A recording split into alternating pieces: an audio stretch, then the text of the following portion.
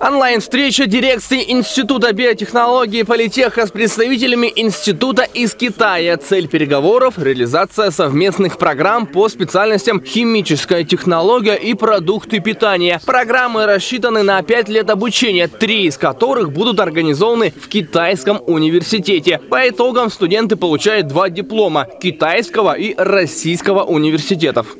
Мы понимаем э, важность вот этого международного сотрудничества, особенно в теперешнее время. Ну и надо сказать, что у нас всегда были тесные связи с китайскими вузами, и я думаю, что э, мы не просто позиционируем себя как международный университет, мы таковым являемся, потому что больше сотни студентов, э, вернее, извиняюсь, больше около тысячи студентов обучаются у нас из разных стран.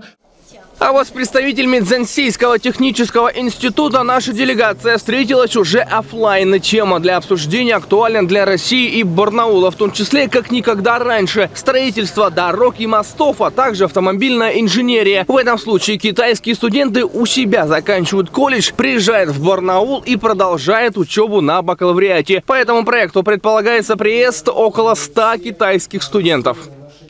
Наш институт с вашим много что объединяет. У нас с вами много одинаковых направлений и специальностей. В этот раз наше сотрудничество для государства в том числе, чтобы воспитать побольше специалистов для страны, для промышленности.